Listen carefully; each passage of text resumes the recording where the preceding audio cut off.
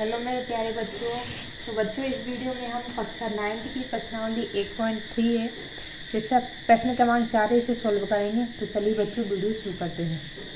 तो देखिए बच्चों, प्रश्न क्रमांक चार क्या कह रहा है? कि ज़ीरो पॉइंट नौ नौ नौ नौ डैश डैश डैश को पी बटे क्यू के रूप में व्यक्त करना है। यानी कि यहाँ पे जो ये अंक दिए गए हैं बच्चों, इसको हमें पी बटे क्यू पी यानी अंश और क्यू यानी हर, यानी कि अंश और हर के रूप में व्यक्त करना है, ठीक है? क्या आप अपने उत्तर से आश्चर्यचकित हैं? अपने अध्यापक कक्षा के सहयोगियों के साथ उत्तर की सार्थकता की जाँच कीजिए। जैसे बच्चों, हमने पहले भी किया था, पी बटे क्यू के रूप में कैसे करते थे, वैसे ही करना है, कुछ अलग नहीं है। तो हल लिख लेते हैं हम। यहाँ पे बच्चों इसको मतलब ज़ीरो पॉइंट नौ नौ नौ नौ, ठीक है? इसको हम वाई मान लेंगे, ठीक है? यानी कि नौ नौ, नो बार बार आ रहा है। तो इसे हम ऐसा लिख सकते हैं वाई बराबर ज़ीरो दशमलव नौ पर बार। ठीक है?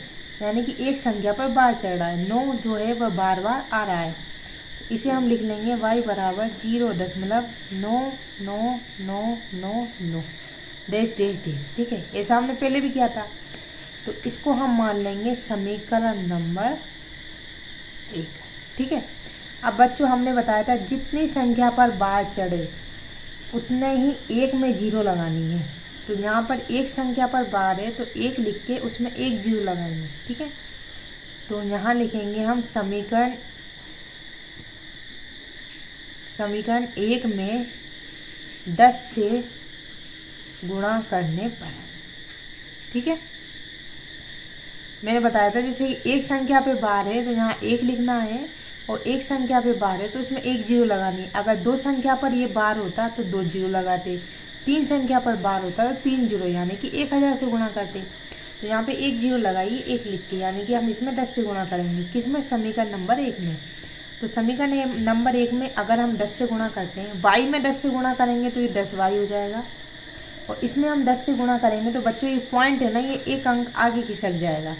इसे हम ऐसा लिखेंगे, ठीक है? और इसको हम नाम दे देंगे समीकरण नंबर दो। ठीक है? ये पॉइंट जो क्या होगा, वो एक अंक आगे खिसक जाएगा। अगर, ठीक है? तो चलिए, अगर यहाँ पे दो दो बार होते तो दो अंक आगे खिसक जाता है ना? तो अब हम क्या करेंगे? समीकरण दो में से समीकरण एक घटाएँगे, जैसे हमने पहले किया था।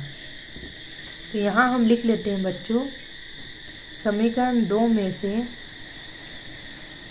समीकरण एक घटाने पर ठीक है? समीकरण दो क्या है?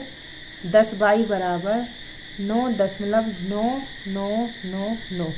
और समीकरण एक क्या है? वाई बराबर ज़ीरो दशमलव नौ नौ नौ नौ। अब इनको घटाते हैं। तो नौ में से नौ गया ज़ीरो, नौ में से नौ गया ज़ीरो, नौ में से नौ गया ज़ीरो, नौ में से नौ गया ज़ीरो, पॉइंट का पॉइंट नौ। बराबर दस बाई में से एक बाई गया तो बचे इधर नौ बाई, ठीक है? अब देखो बच्चों पॉइंट के बाद ज़ीरो का कोई मतलब नहीं होता है, इसे हम ऐसे लिख सकते हैं, नौ बाई बराबर नौ, ठीक है? अब नौ इधर गुणा कर रहा है, इस तरफ़ लाएँगे तो भाग में आ जाएगा तो बाई बराबर हो जाएगा नौ बटे नौ तो नौ नौ से नौ कट गया तो कितना बच्चा एक तो वाई बराबर हो जाएगा बच्चों एक। अब हमें पता है हर संख्या के बटे में एक होता है। इसे इधर हमेशा लिख सकते हैं वाई बराबर एक बटे एक। तो देखो पी बटे क्यू के रूप में आ गया, अंश और हर के रूप में आ गया ये। तो यही हमारा क्या हो जाएगा बच्चों? आंसर हो जाएगा। तो बच्चों, उम्मीद करती हूँ आपको मेरी वीडियो पसंद आई होगी। वीडियो थोड़ी सी भी अच्छी लगे तो लाइक ज़रूर करना। चैनल पर नए हैं तो प्लीज़ चैनल को सब्सक्राइब करना नहीं भूलना। मिलते हैं बच्चों नेक्स्ट वीडियो में, तब तक के लिए धन्यवाद।